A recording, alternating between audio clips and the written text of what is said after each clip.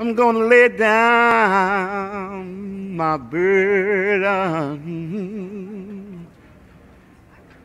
Down by the riverside, down by that river, down by that riverside. Gonna lay down my burden down by that riverside. Study war no more. I ain't gonna study war no more. Study war no more. Study war no more. No more. I ain't gonna study war no more. Study war no more. Study war no more.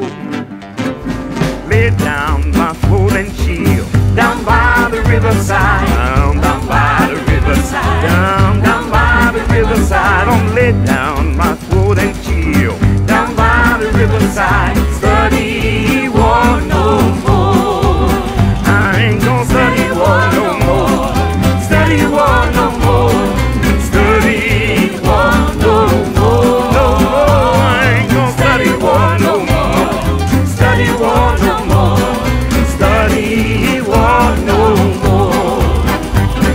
poder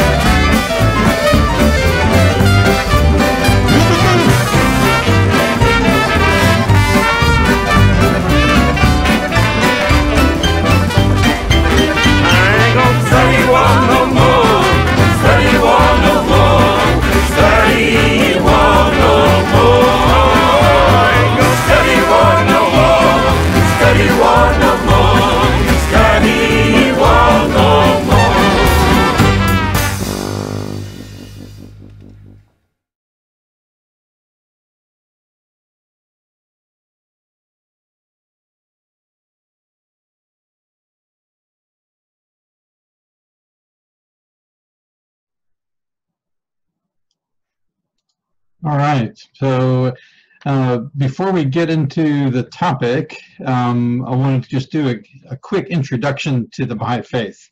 And so, um, uh, Alex, Shadi, and Sophie, are you guys there? Would you uh, mind doing that for us?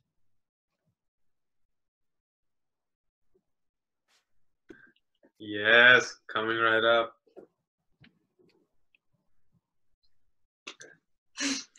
So the Baha'i Faith is the newest of the world's uh, major religion.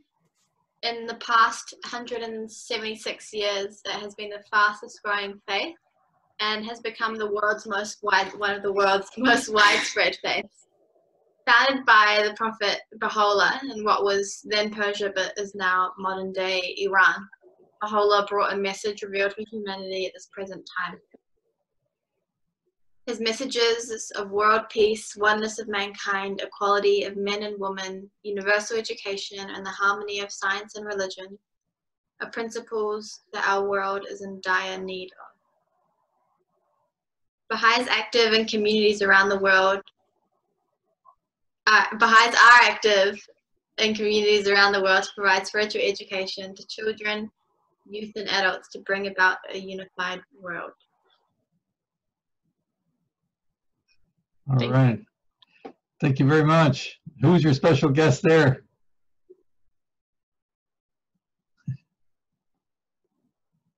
Woohoo! Oh, two. All right, great. All right, thank you guys for that intro.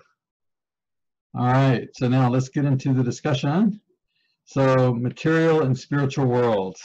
Um, you know, this is one of these topics that uh, I think uh, humanity's kind of struggled with um, uh, probably forever. You know, um, uh, between kind of finding this balance between uh, living a material and uh, and a spiritual life, and uh, and what these two what these two mean, and um, and you see kind of a whole range of um, of responses to that. Um, and um, from one extreme to the other, you know, one extreme would be uh, to kind of say that you know what this um, material stuff is all bad. Um, the physical world is something that's um, uh, that's just not good, um, and uh, and so the direction really is to get away from anything to do with the material world, and uh, just put it put it to one side, and that the path to um, you know to happiness and contentment and fulfillment is to turn completely towards um, towards the spiritual uh, life. So kind of uh, live the hermit life, the ascetic life, for example, um, is one sort of example of that, right? Um, just to shun everything in this world and just sort of concentrate um, completely on on the spirit. That's one um, extreme example. Um, the other extreme is to go all the, the other way and say, well, everything about the spirit is um, is not good and um, uh, it's not real anyway, and so you might as well just focus on on what's um, what's in front of us, um, uh, and uh, and it's all about that material life, and um, anyway, all that spirituality stuff, it's all a bunch of superstition, um, and we should just ignore all of that, and uh, just focus on the material life, on the good life, and then of course there's everything in between that, right?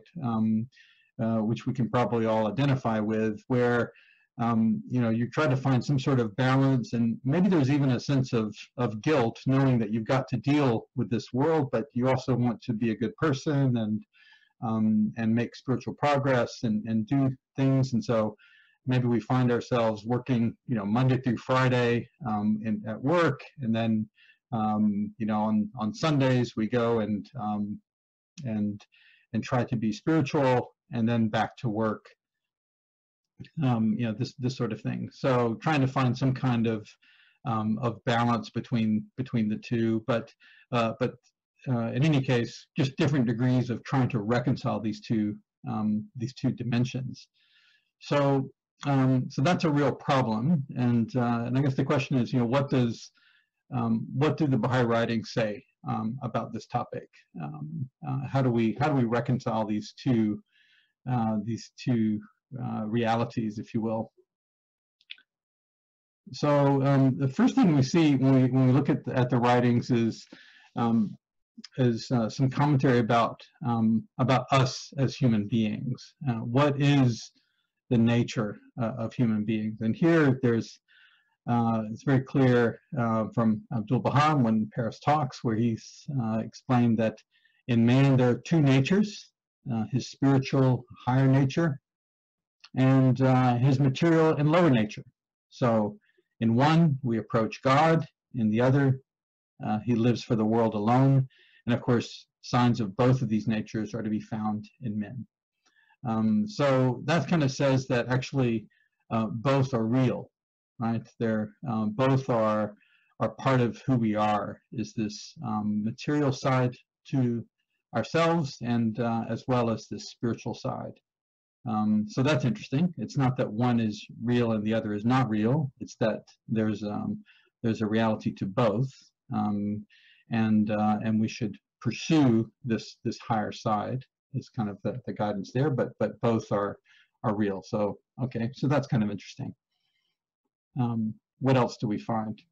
Um, well, the, we also find some um, some places in the writings which talk about um, you know this uh, physical world is part of the creation of God, and um, and of course anything that's that's created uh, by God, um, none of that can be bad. And so we see, you know, this passage here, he says that uh, on the one hand, in creation there's no evil, all is good. Certain qualities and natures innate in some men and apparently blameworthy are not so in reality. For example, from the beginning of his life, you can see in a nursing child the signs of desire, of anger, and of temper. And then it may be said good and evil are innate in the reality of man. And this is contrary to the pure goodness of nature and creation. Well, the answer to this is that desire, which is to ask for something more, is a praiseworthy quality provided that it's used suitably. So if a man has the desire to acquire science and knowledge or to become compassionate, generous, and just, it is most praiseworthy. So that's an interesting perspective that um, you know, the, the writings seem to say that, uh, seem to contradict this view that uh, is taken by some that anything that's material is bad and um, inherently evil somehow. Um, so that's interesting. So on one side we hear that, um, that uh, phys the physical world, the material world is not inherently bad. Um, in fact, it's inherently good. Um, but um, it's about what we make of it, I suppose. So we hear that on one side. And then on the other hand, we're also told to watch out for the material world, right? We're, we're told in many parts of the writings to be detached from material things. So for example, in the hidden words, this passage, blind thine eyes that thou mayest behold my beauty. Stop thine ears that thou mayest hearken unto the sweet melody of my voice. Empty thyself of all learning that thou mayest partake of my knowledge and sanctify thyself from riches that thou mayest obtain a lasting share from the ocean of my eternal wealth.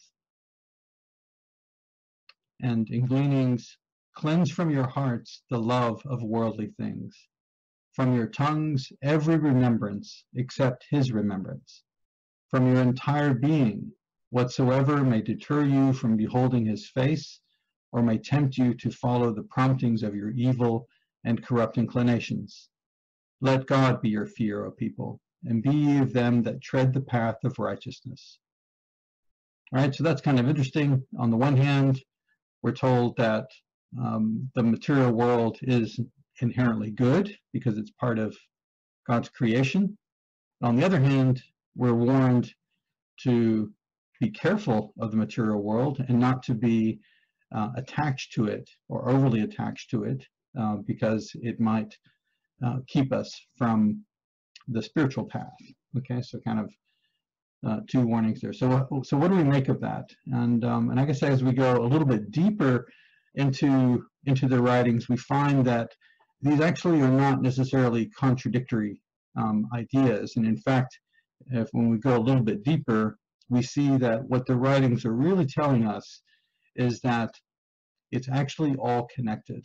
You know, all both the physical world, the material world, and spiritual reality actually should be seen, should be viewed as one integral, harmonious construct.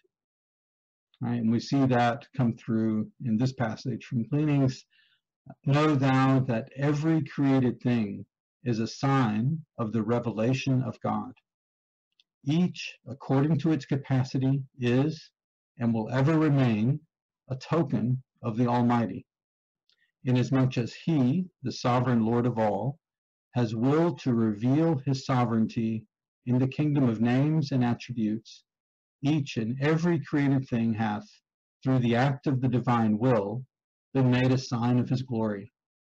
So pervasive and general is this relation that nothing whatsoever in the whole universe can be discovered that does not reflect his splendor. So this is quite profound, right? That um, when we look deeper, in fact, it's all related. So there's kind of this false dichotomy almost of a separation between the material and the spiritual. That in fact they're um, they're related to each other. They're part of the same creation. Um, they're just different worlds of God or different levels of reality. But the, the same spirit runs through uh, both. And uh, another way to uh, kind of look at that is is here this this idea of uh, of different degrees um, appearing in different levels of existence. Um, and um, you know, and as you kind of think about that, really every level of existence manifests progressive degrees of the same spirit. And uh, this uh, is a passage from Abdu'l Baha, um, where he explains, uh, you know, this this idea where we see this in nature. Um, according to science, all forms of creation are endowed with life. This element of life and energy depending on environment and adaptations. Life as an attribute of growth is manifest to a minute degree in the mineral kingdom. It is more powerfully manifested in the vegetable kingdom. And when we study the animal world, we observe that the power of life is expressing itself through more capable mediums, showing manifold attributes. And ascending to the human kingdom, we find that life, or what is figuratively called spirit, is declaring itself with knowledge in the utmost power and transcendency. Right? So even in this physical world, we see uh, these different levels of existence, if you will, the mineral, plant, animal, and human kingdoms, um, all are um, are real, legitimate uh, levels of existence, uh, but you see these same spirits and attributes of the divine manifesting themselves to different degrees at each of those levels. So that's kind of interesting that we see these this concept of different levels. Um, that's that's comprehensible. And so if it's true up all the way up to the human kingdom, um, perhaps it continues to be true to next levels beyond that, uh, to these spiritual levels. And so, sort of, in what that actually suggests is that um, you know, these different levels of existence are things that we can learn from, right? And so, uh, you know, why has uh, God created uh, the the universe in this in this fashion? Why have these different levels of existence? And why, if we are indeed spiritual beings, you know, that we have these two natures, this animal side to us and this spiritual side, why go through um, sort of all of this uh, trouble to have us go through and have this physical experience living in this physical world? What is the wisdom uh, in this? And, um, and so surely it must um, have to do uh, with this, you know, that, um, that it is a classroom uh, is one way to look at this this physical world that we're in. It's a it's an opportunity for us to learn about some of these spiritual principles and these uh, spiritual attributes um, that exist in this level of existence. And from that, we can learn about higher levels um, uh, from that. And uh, this passage kind of hints at that as well here. O Son of Bounty, out of the waste of nothingness, with the clay of my command, I made thee to appear, and have ordained for thy training every atom in existence right? So that's uh, and the essence of all created things. So the world exists in, in a way uh, for our training. It's a classroom uh, for us. So what are some examples of um, of things we can learn out of this classroom, right? This this uh, if we think of the the material world, the physical world as a classroom, um, what are some of these things that we see? Um, so, here are a few examples, and I think there's just uh, limitless um, uh, other examples that uh, I'm sure you'd all uh, be thinking of. Uh, one is, you know, we look at the material world and you see uh, organic growth, right? Um, you plant a seed, um, it, it grows, and eventually it grows into a tree. The tree produces um, flowers and fruit, and um, and in turn more seeds. And so you, this this concept of growth we see throughout this physical world. Um, there's a mirror, a parallel spiritual truth that um, is reflected there that we can that we can learn. So the principle of spiritual growth and progress is reflected through that example. Um, other examples in this physical world that we can that we can kind of glean some some spiritual truth from. Uh, look at the forces of the four fundamental forces, you know, that are in physics, right? The forces of gravity, uh, electromagnetism, the strong and weak nuclear forces. Um, those are all examples of um, the, the, the four forces that keep this universe kind of operating. And um, and the parallel there, of course, is the principle of love, right? The um, we know that the principle of love is is the force that uh, binds it all together, and so there's that interesting parallel there. Um, or uh, the uh, the seasonal cycles uh, that we see, or look at the sun as an example of a as a source of life, and uh, and the parallel to um, to God, the Holy Spirit, and His manifestations of God being the source of, of spiritual sustenance and life and knowledge uh, to us. So seeing that same um, you know, sort of uh, cycle repeat itself at each of the levels of, of existence, and it allows us to draw some conclusions about um, about the uh, the spiritual world, and, and, we can go on uh, through through different other uh, examples as well. And so what we see kind of connecting through all those different levels of existence again is this um, is God, is that that force, that power that's coming from the ultimate cause, right? Verily, the word of God is the cause which hath preceded the contingent world. So the prime mover, the the, the beginning, is this unknowable essence uh, of God, and it goes through cascades through all those different levels of uh, of existence. And um, uh, and uh, and we can we can learn from those different levels of existence about the levels above us, um, and it's a chance for us to kind of climb this ladder of knowledge through those different levels of, of existence. And there's this constant sort of spiritual growth, spiritual progress, uh, and and renewal um, that's that's happening through that. So uh, verily, the word of God is the cause which hath preceded the contingent world, a world which is adorned with the splendors of the Ancient of Days, yet is being renewed and regenerated at all times.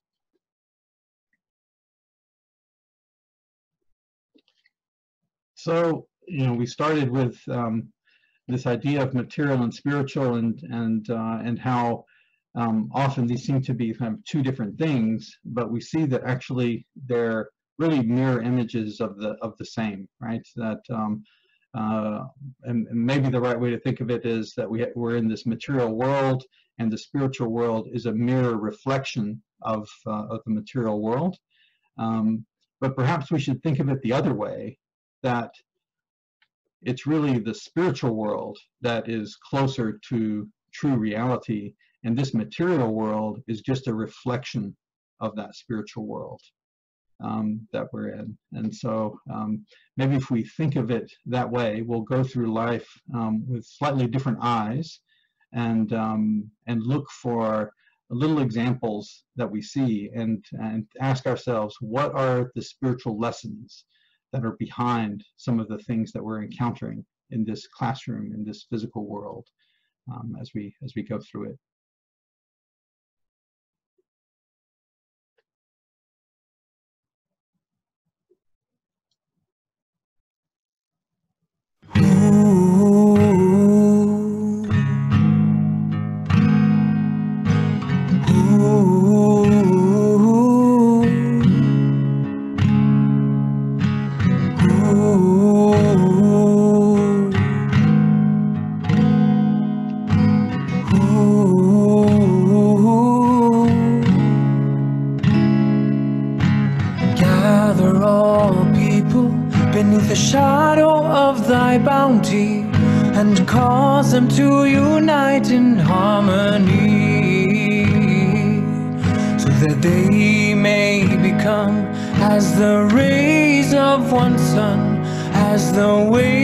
of one ocean.